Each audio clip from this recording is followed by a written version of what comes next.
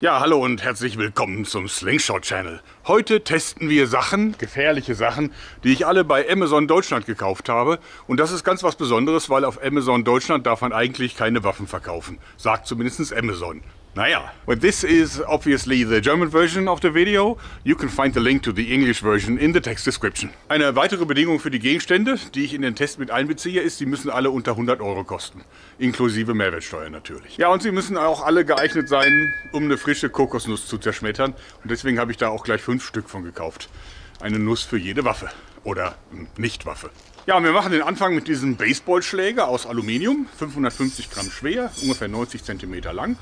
Ja, der äh, ist äh, die, die Dicke des Rohrs, das ist natürlich ein Aluminiumrohr, ist nicht massiv, ist 2 mm. Ich weiß, dass es natürlich stabilere Baseballbats gibt. Also wahrscheinlich sind die aus Holz sogar noch stabiler, aber der hier ist halt sau billig. Der kostet nur nämlich nur 26 Euro. Das finde ich echt nicht viel. Und der sieht außerdem super gefährlich aus, oder? Jetzt mal ehrlich. okay, let's begin.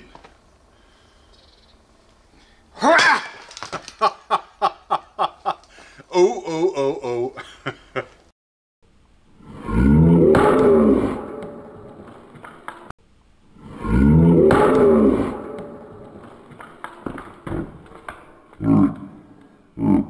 Ja, also wie man sieht, so eine Kokosnuss ist ganz schön hart. 2 mm Wandstärke hat wohl nicht gereicht, da ist eine ordentliche Beule drin. Tja, für die Kokosnuss hat es trotzdem gelangt. Und das Ding ist nach wie vor natürlich immer noch einsatzfähig. Sieht sogar jetzt ein bisschen battlehardend aus, denke ich. Und verbogen ist es auch nicht, ist nur diese Delle drin. Also ich finde, äh, für 26 Euro kann man nicht sagen, oder? Wie seht ihr das? Hm? Hm, bisschen seifig, aber gar nicht schlecht glaube, wir waschen das mal. Das kann meine Frau dann heute im Salat verarbeiten. Als nächstes haben wir dann hier den Ochsenkopf von Gedor oder Gedore. Eine deutsche Firma, aber das Ding ist äh, in Österreich hergestellt. Made in Austria steht drauf. Ja, das ist eigentlich ein Werkzeug für Baumfellarbeit. Ne? Da kann man, das kann man so in so, einen, in so einen Holzstamm, so einen Baumstamm stecken und den dann zu sich ranziehen. Wahrscheinlich auch fürs, Floß, fürs Flößen. Kann ich mir vorstellen. Diese Seite ist nochmal eine Axt, einigermaßen scharf, obwohl in der neuen Axt ist das schon so ein bisschen schartig, wenn ihr das sehen könnt. Naja, okay, ist Hand, Hand, Handarbeit. Gar nicht billig, kostet ungefähr 95 Euro. Sieht aber echt gut aus. Und als ich es gesehen habe, habe ich mir gedacht, das ist doch eine Zombie-Schädelhacke, oder nicht? Und genau das werden wir jetzt natürlich testen.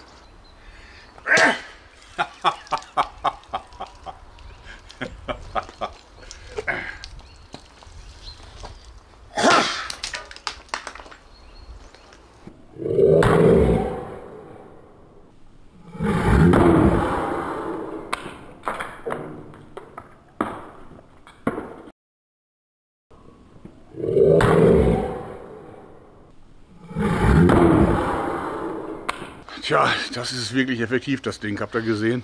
Kurzen Prozess mit der Kokosnuss gemacht. Also diese Seite war fast noch effektiver als die hier. Aber ich glaube, wenn es einfach nur darum geht, irgendeinem Angreifer oder Übeltäter ein Loch in den Schädel zu verpassen, dann ist das wahrscheinlich echt in Ordnung. Also ich gebe dem Ding jedenfalls meinen Anti-Zombie-Waffen-Approval. Ja, das nächste Ding, was ich hier habe, das ist mir tatsächlich so ein bisschen so ein Rätsel. Ein Fan hat mir den Amazon-Link geschickt. Ich habe den dann blind bestellt, weil er gesagt hat, ich soll das mal mit einbeziehen. Kostet 45 Euro und das handelt sich hier um einen Edelstahlknüppel. Ich meine, guckt euch den mal an. Der ist total schwer, wiegt 800 Gramm, wenn man bedenkt, dass äh, zum Beispiel der Baseballschläger nur 550 Gramm wiegt. Also das Ding ist heftig. So ein bisschen böse nach vorne geneigt, um dem so mehr Schwung zu geben, glaube ich. Man hat hier an den Enden diese Verdickung. Eine Seite natürlich zum Schlagen und das andere nehme ich an, damit das hier nicht abrutscht. Also das Ding, ich glaube Edelstahl, massiv. Schon der Wahnsinn. Die einzige Frage, die ich habe, wieso gibt es ein Gleitmittel zu dem Knüppel? Das lag nämlich in der Verpackung mit drin. Ich glaube, da hat sich jemand vertan, denn ich meine, Gleitmittel auf so einem Totschläger, das ist doch total idiotisch, da rutscht man doch nur ab. Also, ich glaube, hier hat sich Amazon wohl vertan. Naja, wir testen's. Ups. Almost worked. Uff.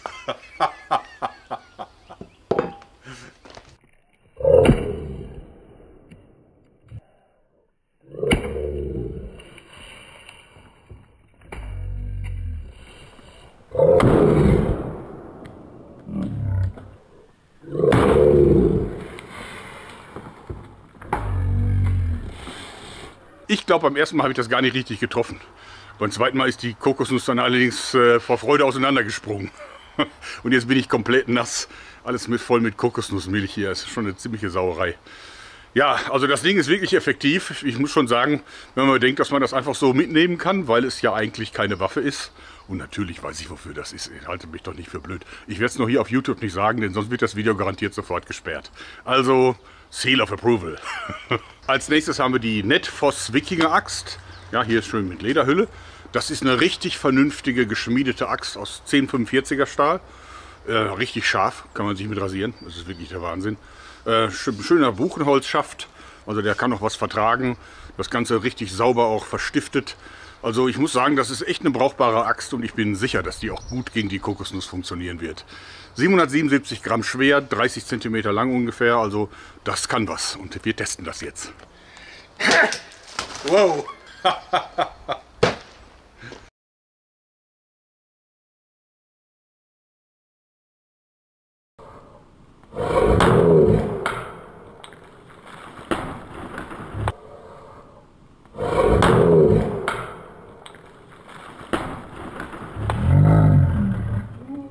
Ja, das hat super funktioniert, wie erwartet. Also kein Schaden an der Axt, kein Schaden am Stiel, jede Menge Schaden bei der Kokosnuss. das Ding funzt. So, der nächste Kandidat, das ist tatsächlich das Schwert vom Witcher, vom Gerald aus, dem Witcher, aus der Witcher TV-Serie und äh, kostet 95 Euro für ein Schwert in der Größe natürlich saubillig. Ja, das Schwert ist äh, natürlich dafür gedacht, dass man es auf dem Rücken trägt, aber immer wenn ich das äh, versuche, dann kommen da fürchterliche Sachen bei raus. Kannst du mal ausprobieren hier. Oh, mit der Brille auch ein bisschen blöd. Ja, das, das sieht zwar irgendwie cool aus, aber wenn man dann versucht, das Schwert zu ziehen, dann kommt man doch dann sehr schnell an die, sagen wir mal, an die Grenze der Armlänge. Ne? Also ich finde das eigentlich eine Scheißidee, so ein Schwert in so einer Rückenscheide zu tragen. Obwohl Chad von Shadiversity, ich glaube, der hat mal so eine, so eine Hülle designt, wo man es so ausklinken kann. Damit wird das vielleicht gehen, aber so ist es einfach nur eine Schnapsidee, oder? Naja, eigentlich ist dieses Schwert hier in meinem Test außer der Reihe, weil es natürlich eine Waffe ist. Ich meine, man kann auf Amazon eigentlich Schwerter verkaufen, so zum Schaukampf, dann sind die stumpf. Oder eben, wenn sie, was weiß ich, Lab ganz stumpf sind oder aus Schaum oder aus Holz oder sowas. Aber dieses Schwert ist scharf geschliffen, das muss ich schon sagen. Und es ist natürlich wirklich, wirklich na, ein saulanges Schwert. Ich meine, schaut euch das mal an, was das Ding von der Länge hat. Also die Klinge, die ist ja fast einen Meter lang. Das ganze Schwert ist 1,20 Meter, wiegt 1,2 Kilo, gar nicht schlecht. Leider, leider, leider ist der, schwer, ist der Stahl nicht so toll. Also ich habe es gerade mal ausprobiert. Man kann das Ding total schnell verbiegen. Naja, und dann kann man es auch wieder gerade biegen. Also klar, aber was will man für 95 Euro erwarten? Ansonsten sieht das gar nicht schlecht aus und liegt auch ganz gut in der Hand. Ist also so eine Art Zweihänder, aber ich würde eher sagen ein anderthalb Händer. Man kann es mit zwei Händen führen, aber ich glaube mit einer Hand ist es eigentlich besser zu bewältigen. Mit 1,2 Kilo auch kein Problem.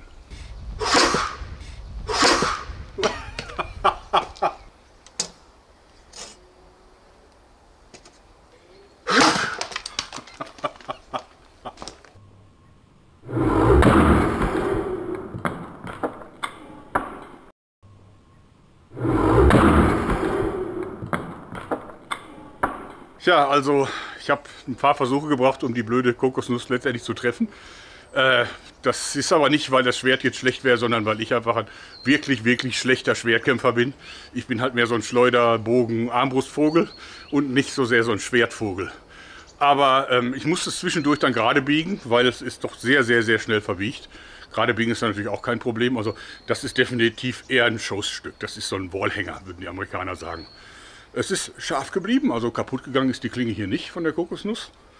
Ich würde das jetzt nicht wirklich als gutes Schwert bezeichnen.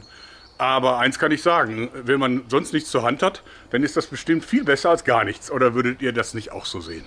Ja, was findet ihr denn jetzt ist die beste Nicht-Waffe, Waffe, die man bei Amazon Deutschland kaufen kann für unter 100 Euros?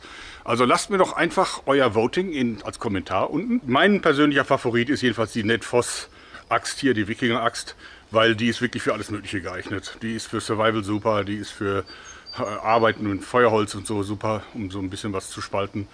Und ähm, ich finde, die ist natürlich auch als Heimverteidigungsgerät super geeignet und gilt halt auch nicht als Waffe.